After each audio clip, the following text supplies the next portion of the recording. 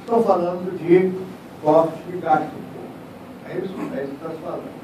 E aumento da arrecadação. Aí vem essa chuva de imposto para cima da gente e outros cortes que estão sendo dados.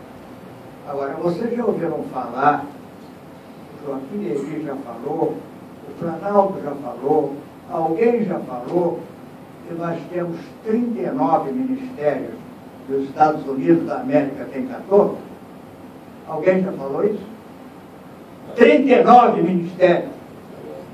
Com assessores, com mulher de assessor, com elevador, com não sei o quê, com luz elétrica, com papel, com consumo. 39 ministérios. Uma fortuna.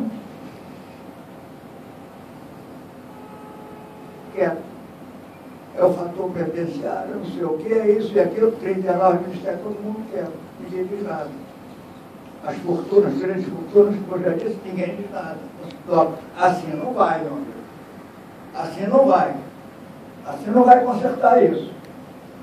39 ministérios, que é isso, meu Está todo mundo maluco? Para distribuir benesses para deputado e para senador?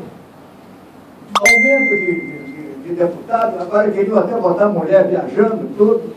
Infelizmente a situação está tão grave, uma grita e pararam. Né? Mas a insensibilidade é total. Tem que haver um choque de consciência nesse país. Se não houver um choque de consciência, não vai. E cada um fica puxando para um lado para roubar mais. Assim não dá. Vai tirar do bolso do outro. O meu não. Assim não dá. Não é possível. Todos temos que participar de um esforço coletivo de salvação por conta desse raio desse partido que despegou na nossa cabeça há 12 anos e está acabando por aí. Bom.